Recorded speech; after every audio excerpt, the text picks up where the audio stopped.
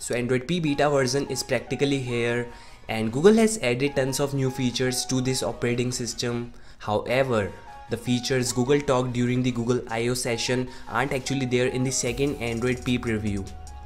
Basically there are tons of new features which are coming soon with the next Android P preview.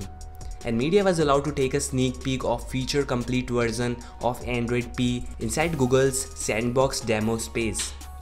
So first off we have the Android dashboard which will provide you the statistics like how many times the phone was unlocked, which applications you use the most and how many notifications were received within the past day.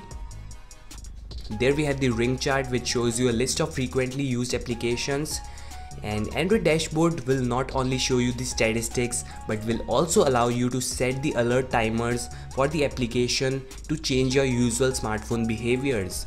Like for example, I want to use Facebook 1 hour daily so I can set a timer that will alert me whenever I will use that application more than 1 hour.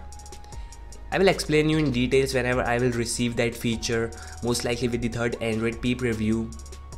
And next major feature is coming really soon and for all the devices.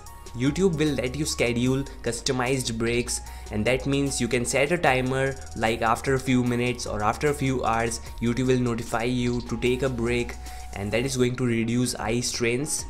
Next feature is the wind down mode which will turn your smartphone to black and white basically monochrome.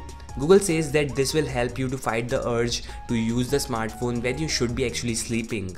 And this mode also turns on the do not disturb mode so really a great feature a next feature I think at this point you all know is Google Duplex. Google Assistant will help you make reservations, schedule appointments. All you have to do is just provide the date and time and your assistant will call the businesses in human voice to coordinate for you. And this feature will be available really soon, of course for all Android smartphone, but I think the Android P beta will get it first. So these are all the confirmed features coming along with next Android P preview. There are also a few leaked features that might arrive with third Android P preview. I've already made a video on that. So yeah, thanks for watching this video. I hope you enjoyed it. Don't forget to like, subscribe and peace out.